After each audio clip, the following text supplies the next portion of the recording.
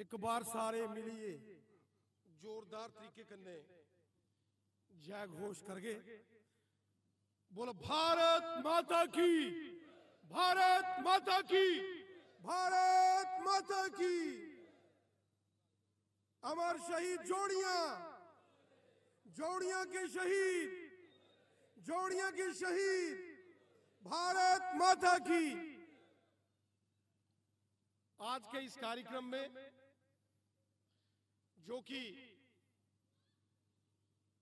जम्मू के इस पवित्र भूमि जोड़िया, जो कि शहीदों की भूमि है, बिल्कुल बॉर्डर के ऊपर, यहाँ सन 1953 18 मार्च 31 जनवरी के दिन, जो हमारे वीर बलिदानियों ने देश के लिए अपनी मातृभूमि के लिए अपना सर्वस्व अर्पण किया ऐसे महान भावों को हम शत शत नमन करते हैं कोटि कोटि वंदन करते हैं, सलूट करते हैं।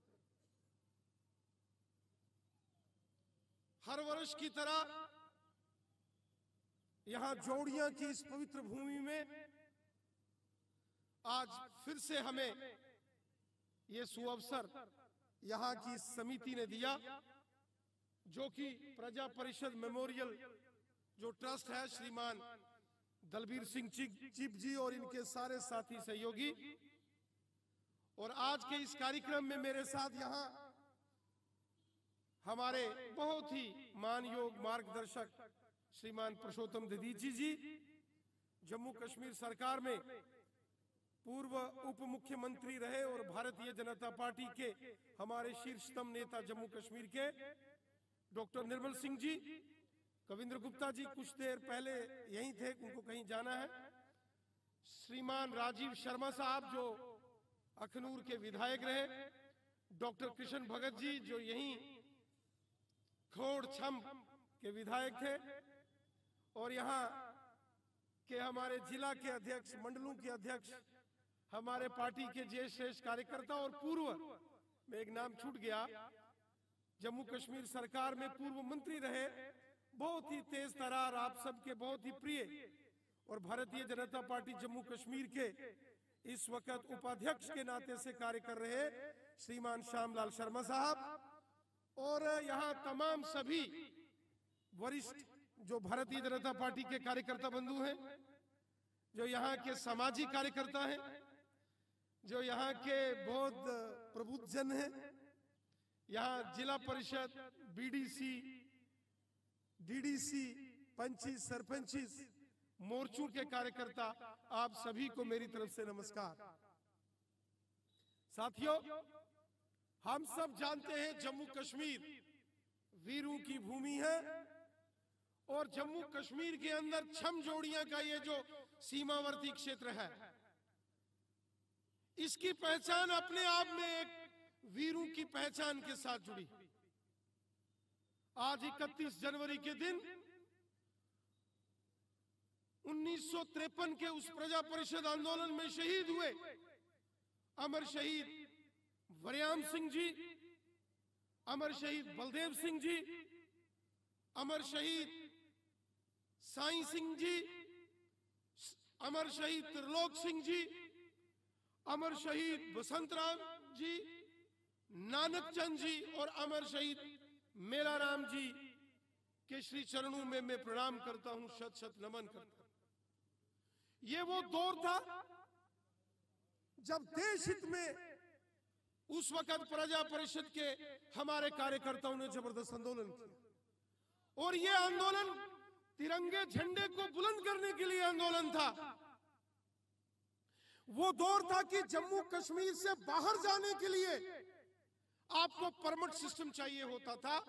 अगर किसी को जम्मू कश्मीर से हरिद्वार माँ गंगा जी के दर्शन करने, स्नान करने, काशी, मथुरा, वृंदावन, अयोध्या, द्वारिका, रामेश्वरम, कांची काम कोठी अगर ज्योतिर्लिंगों के दर्शन शक्ति पीठों के दर्शन, चार धाम की यात्रा करने के लिए अगर किसी को जम्मू कश्मीर से बाहर जाना होता था तो लखनपुर पार करने से पहले एक परमिट सिस्टम था।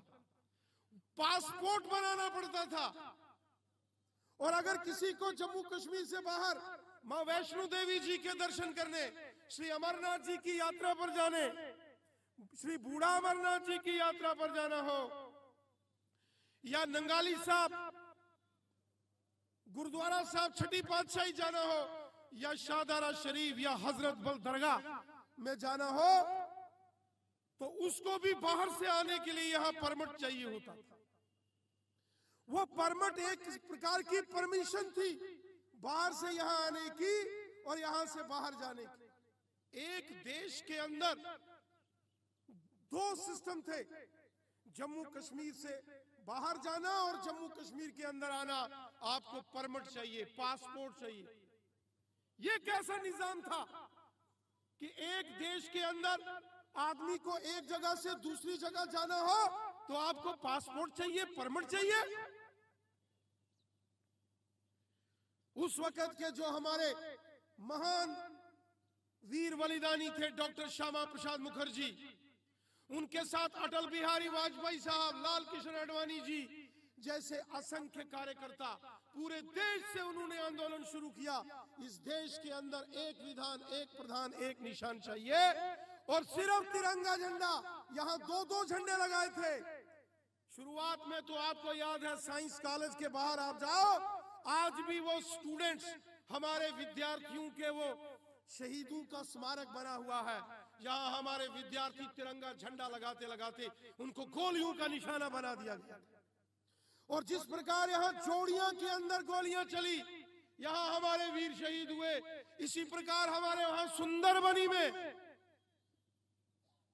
इसी प्रकार हीरानगर में, और इसी तरह रामबन के अंदर गोलियाँ चली।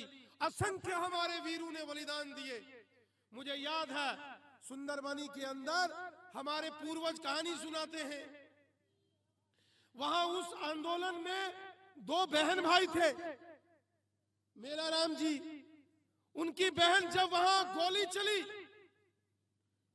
उस वक्त के हुक्मरान शेख मोहम्मद अब्दुल्ला, जिनको दिल्ली के अंदर बैठे, उस वक्त के कांग्रेस के हुक्मरान पंडित जवाहरलाल नेहरू की पूरी छतर छाया में वो यहाँ काम कर रहे थे।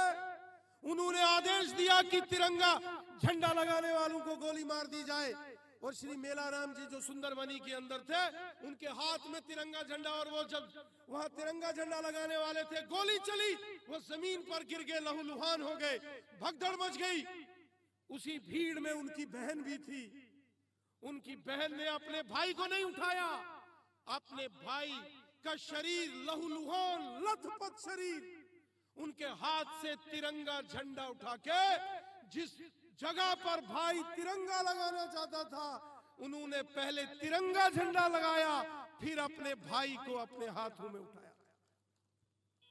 ये वो आंदोलन था प्रजा परिषद का, जो देश हित में लड़ा गया, जिसमें जम्मू कश्मीर के अंदर देशभगत लोग इकट्ठे होकर लड़े, चाहे वो हिंदू थे या मुसलमान थे, सिख थे या ईसाई थे, गुजर बकरवाल थे या पहाड़ी थे। डोगरे थे या देशभगत जो जज्बा रखने वाले कश्मीर और लद्दाख के लोग। जिनको लगा कि यहाँ दो कानून और दो दो झंडे, ये किस लिए? एक देश में दो कानून, एक देश में परमट, एक देश में दो झंडे। उस वक्त के हुक्मरानों की ये साजिश थी कि आने वाले समय में भारत के और टुकड़े करके देश को विभाजित किया जाए, जैसे उन्नीस में देश के टुकड़े किए। ये वो लोग थे उस समय सत्ता के अंदर, जो उस समय हुकूमतें तो कर रहे थे, सत्ता में तो बैठे थे, लेकिन एक नंबर के गद्दार थे। देशद्रोही थे। देशद्रोहियों के हाथ में वो सत्ताएँ थी। तो उन्होंने देशभगत और जिनके हाथों में झंडे थे, उनको गोलियाँ लगी। लेकिन जो प्रजा परिषद के हमारे शूरवीर थे, जो हमारे पूर्वज थे, जिन्होंने इस प्रकार से यहाँ कुर्बानियाँ दी, वो डटे रहे, हटे नहीं, डरे नहीं, डिगे नहीं। उन्होंने मुसीबतें सही कष्ट सहे, गोलियाँ खाई, जेलें काटी। लेकिन देश की एकता और अखंडता के साथ समझौता नहीं पंडित प्रेमनाथ डोगरा जी हो, महाराजा हरि सिंह बहादुर, जिनके साथ बहुत जुल्म किया गया, ये डोगरू का जम्मू कश्मीर, गिलगित बल्टिस्तान, लद्दाख, अक्साई चीन ये सब हमारा डोगरू का, डोगरा शासक हमारे राजाओं का ये एक अधिकार क्षेत्र था। लेकिन जब महाराजा हरि सिंह बहादुर ने विलय पत्र पर साइन करके 26 अक्टूबर उन्नीस सौ सैंतालीस को पूरे जम्मू कश्मीर का विलय भारत के साथ किया, वो जवाहरलाल नेहरू दिल्ली के अंदर, जो कांग्रेस के नेता थे और यहाँ शेख मोहम्मद अब्दुल्ला थे, उन्होंने षड्यंत्र किया और महाराजा हरि सिंह बहादुर जी को जम्मू कश्मीर से सदा सदा के लिए बाहर कर दिया। महाराजा हरि सिंह जी, जम्मू कश्मीर के विलय 15 अगस्त उन्नीस से पहले भारत में करना चाहते थे। लेकिन जवाहरलाल नेहरू ने शर्त लगाई थी कि आपको विलय करने के बाद जम्मू कश्मीर से बाहर जाना पड़ेगा। महाराजा साहब ने कहा यह कौन सा कानून है? जम्मू कश्मीर हमारा है, भारत का है और हर भारत के नागरिक को यह अधिकार है कि वो कहाँ रहेगा। लेकिन षड्यंत्रकारी पंडित जवाहरलाल नेहरू और शेख मोहम्मद अब्दुल्ला ने महाराजा हरि सिंह जी के खिलाफ अत्याचार और जम्मू कश्मीर की जनता के खिलाफ षड्यंत्र की और विलय नहीं होने दिया। और जब 22 अक्टूबर उन्नीस को पाकिस्तान की सेना ने मीरपुर कोटली के अंदर हमला किया। भिम्बर बाग, पलंदरी, देवा, बटाला, मुजफ्फराबाद और पाकिस्तान की सेनाएँ जब बारामूला तक पहुँच गई, मोहम्मद मकबूल शेरवानी और मास्टर अब्दुल अहद लोन साहब जैसे जो हमारे वतन परस्त मुसलमान हैं, वो खड़े हो गए, हाथों में तिरंगा झंडा लेके पाकिस्तानियों के खिलाफ। लेकिन जवाहरलाल नेहरू और शेख मोहम्मद अब्दुल्ला जो थे, उनको शर्म नहीं आई। वो देश के साथ गद्दारी करते रहे। अब चूँकि महाराजा हरि सिंह बहादुर जी की और जो राष्ट्रीय स्वयं सेवक संघ के हमारे पूजन, पूजनीय दूसरे सरसंघ चालक थे, पूजनीय गुरु जी गुरु गोलवलकर जी, उनके साथ बहुत अच्छी दोस्ती थी। गुरु जी गुरु गोलवलकर जी की और महाराजा हरि सिंह बहादुर की। तो सरदार पटेल जी ने विशेष जहाज़ से, भोपाल से गुरु गोलवलकर जी को श्रीनगर भेजा था महाराजा हरि सिंह बहादुर जी के पास। और दो दिन गुरु गोलवलकर जी जो आरएसएस के उस समय प्रमुख थे, उन्होंने महाराजा हरि सिंह जी से चर्चा की। उन्होंने कहा, ये नेहरू और शेख अब्दुल्ला ने तो गद्दारी की है। लेकिन देश हित में हमको निर्णय लेना है। तो महाराजा हरि सिंह बहादुर जी ने 26 अक्टूबर उन्नीस सौ सैंतालीस को जम्मू कश्मीर का विलय भारत में किया। लेकिन उसके बाद भी जब महाराजा साहब को यहाँ से बाहर कर दिया गया, यहाँ षड्यंत्र कम नहीं किए इन्होंने। दो दो झंडे दो दो कानून और परमट सिस्टम लगा दिया। तब उस वक्त के हमारे जो महान हमारे नेता थे पंडित प्रेमनाथ डोगरा जी और महाराजा हरि सिंह बहादुर और श्यामा प्रसाद मुखर्जी जी की दिल्ली में बैठक हुई। और दिल्ली में तय हुआ कि जम्मू कश्मीर के अंदर एक प्रचंड आंदोलन होगा और वो आंदोलन प्रजा परिषद के बैनर के तले लड़ा गया, जिसमें जोड़िया के भी वीरों ने अपना बलिदान दिया उस महायज्ञ में अपनी कुर्बानियाँ। वो उसी प्रकार का आंदोलन था जैसे जंग आज़ादी का आंदोलन था।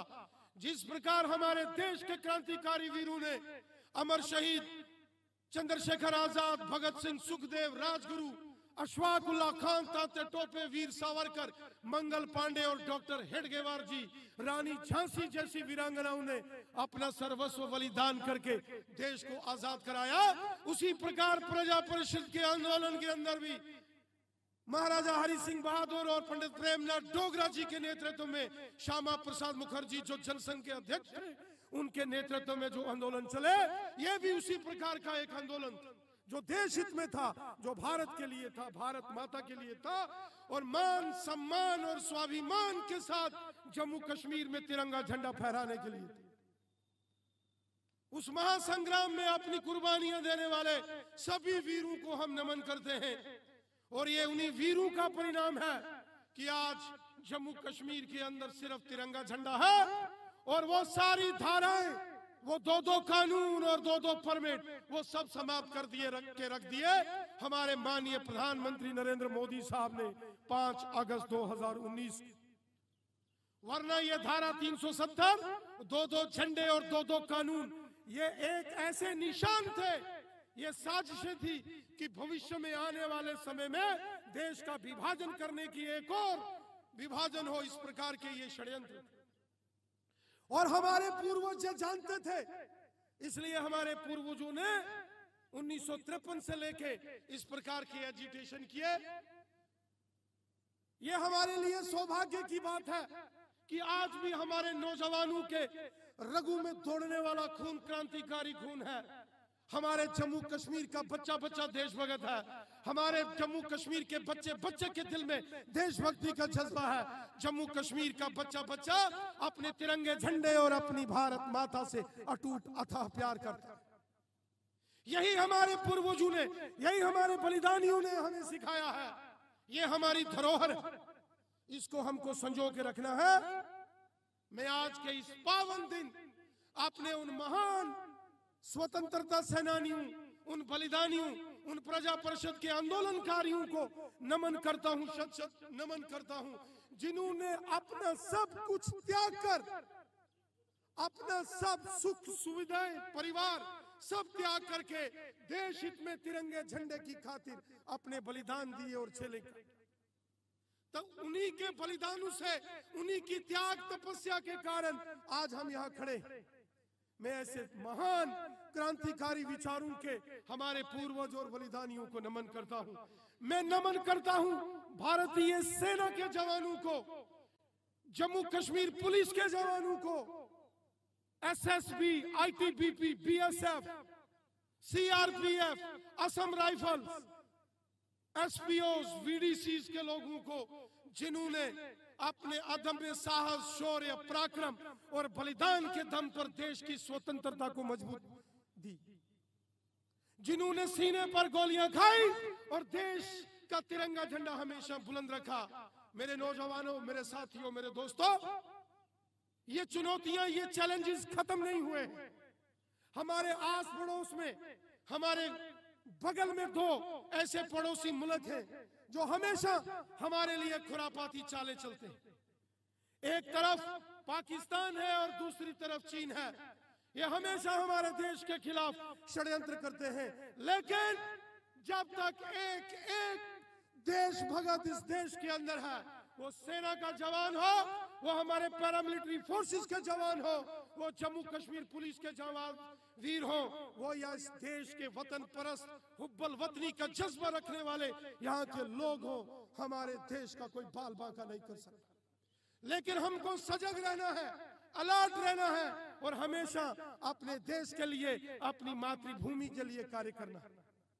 हमारे देश के पूर्व प्रधानमंत्री अटल बिहारी वाजपेयी साहब ने कहा था, उन्होंने कहा था, भारत कोई मिट्टी का टुकड़ा नहीं है, ये देश हमारा भारत, ये कोई मिट्टी का टुकड़ा नहीं है, ये एक जीता जागता राष्ट्र पुरुष है। इसका कंकर कंकर शंकर है। ये अर्पण की भूमि है, ये तर्पण की भूमि है।